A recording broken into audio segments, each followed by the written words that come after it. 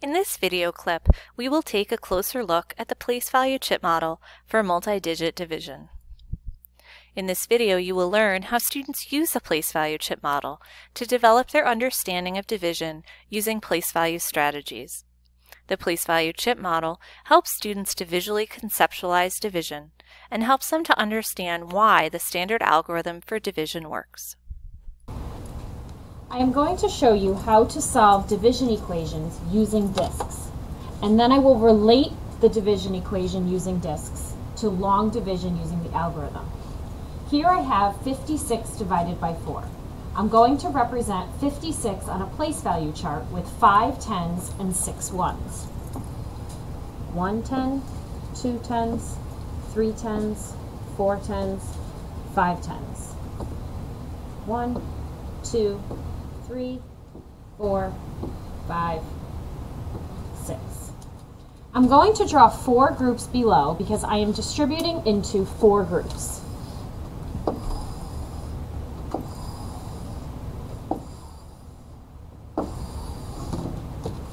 One group, two groups, three groups, four groups. First, I'm going to distribute my tens. I'm going to put one 10 in each group. One, two, three, four. I see that I have one 10 remaining. I need to decompose that 10 for 10 ones. So I'm taking my 10 and decomposing that 10 into 1, 2, 3, 4, 5, 6, 7, 8, 9, 10. Now, I will distribute my ones.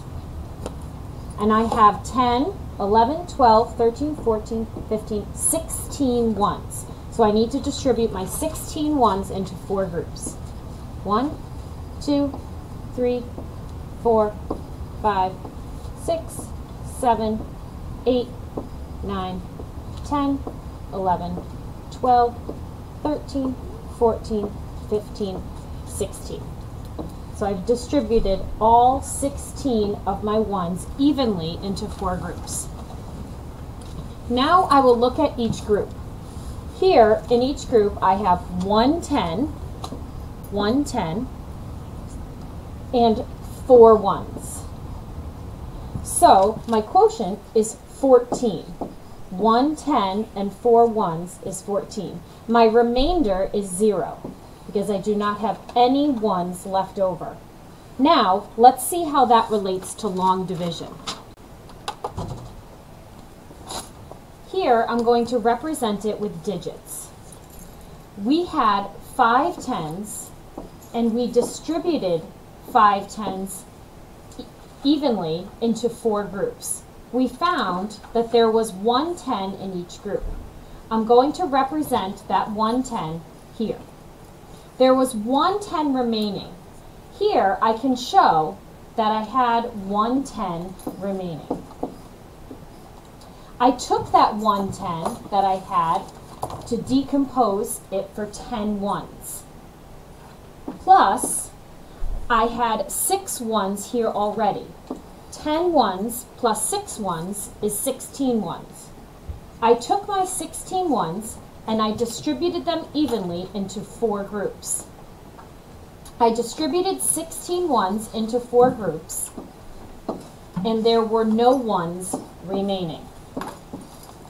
My quotient was, was 14, my remainder is zero. Now that you have seen some examples of the place value chip model for multi-digit division, there are a few things we want you to keep in mind.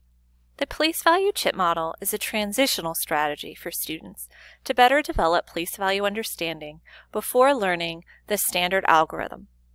We do show students the standard algorithm for division alongside the place value chip model so that students have a better understanding of why the algorithm works. Students are not expected to be fluent in division using the standard algorithm until sixth grade. In this video, hopefully you learned how students use the place value chip model to develop their understanding of division using place value strategies.